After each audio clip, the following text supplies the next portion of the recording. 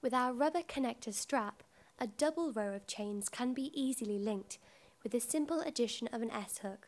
Just circle the rubber connector around the circumference of the post and thread one end through the other, using the S-hook to connect the rubber strap to the chain.